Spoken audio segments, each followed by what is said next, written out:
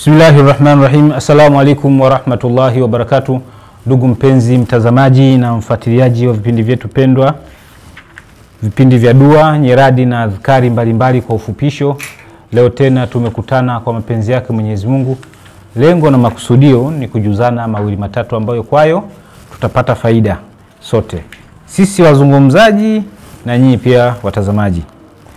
Leo nimekusudia kukutanabaisheni na kufahamisheni kuhusu swala la biashara, swala la kupata wateja katika biashara. Na kwa wastani ni kwamba watu wengi wanafanya biashara, lakini katika kitu kinachosumbua ni upande wa wateja. Mtu anakuwa na wateja wa kusuasua, au anaweza kufanya biashara mwanzo ikaenda vizuri, alafu baadaye ime ikafungwa ile biashara na watu ambao mara nyingi wanakuwa wanakusudia watu ubaya au mambo yao kuwakusudia ubaya. Sasa leo inshallah na kujuza na kukufahamisha mshubiri wa hiyo kesi, mshubiri wa hiyo kesi bana unapatikana katika sura ya ishirini na ishirini na mbili inaitwa Suratul Haji aya ishirini na saba kama sikukosea. Sahihi kabisa.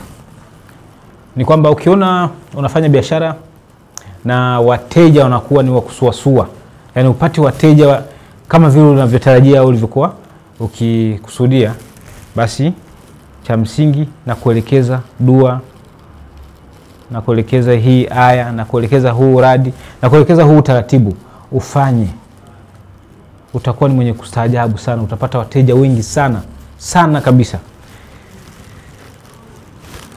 Utaratibu wenyewe ni kwamba unaleta istighfari mara sabini.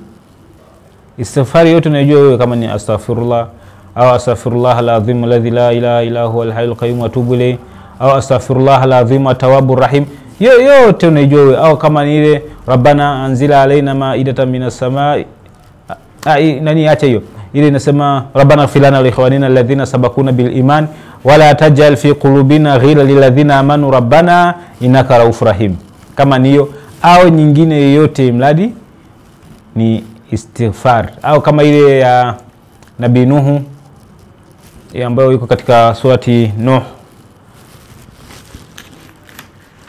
bimaana ambayo unaiweza wewe utaileta mara sabini, alafu baada ya hapo utamswalia Mtume Muhammad sallallahu alaihi wasallam pia mara sabini. Kwa swigha yoyote unaijua wewe, kama ni Allahumma salli ala sayyidina Muhammad ala ali sayyidina Muhammad, kama ni salatu ibrahimia, kama ni salatu umi, salatu yoyote ya Mtume Muhammad sallallahu alaihi wasallam, imradi uilete mara sabini.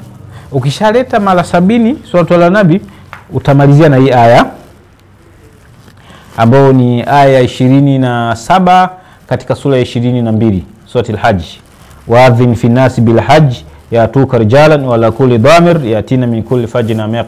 Unaishia hapo.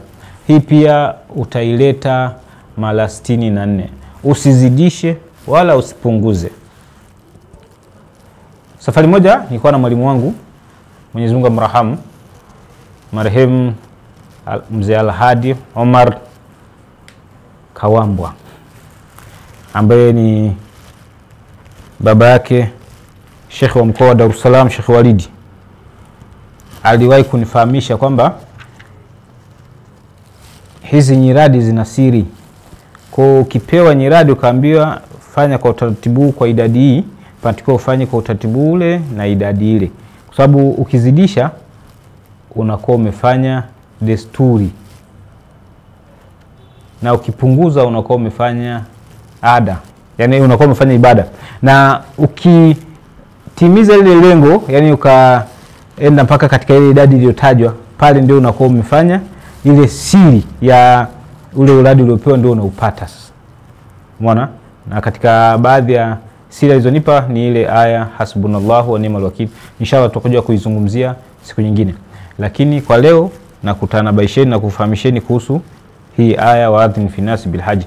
kwao unaisoma na yenyewe mara sitini na nne. Kwa ukishamaliza istighfari mara sabini salatu ala nabi mara sabini alafu ndio unakuja kumalizia na hii aya mara sitini na nne. Muda wa kufanya muda gani? Ni muda wa usiku. Bimaana baada ya swala ya isha mpaka huu muda wa kulala. Hapa katikati ujitahidi umefanya. Kwao utastaajabu unapata wateja wengi sana. Na hata mtu akikusudia kukuhusudu anashangaa ile husuda inamrudia mwenyewe. Umeona? Ko dumu na huo utaratibu na huo uradi kwa uwezo wa Mwenyezi Mungu na kwa mapenzi yake Mwenyezi Mungu utaona maajabu makubwa sana katika bidhaa yako katika biashara yako. Kwao nikutakie utazamaji mwema na ufuatiliaji mwema.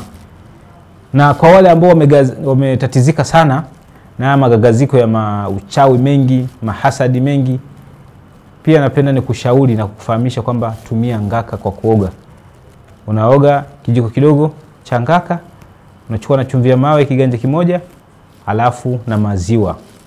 Tia katika maji moto ima lita kumi au lita ishirini.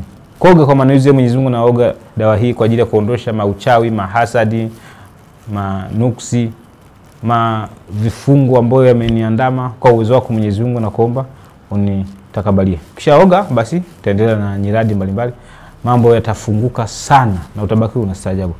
kwao ni kuage inshallah tutaona katika vipindi vijavyo. Billahi taufiki wa hadha, assalamu alaikum warahmatullahi wabarakatu.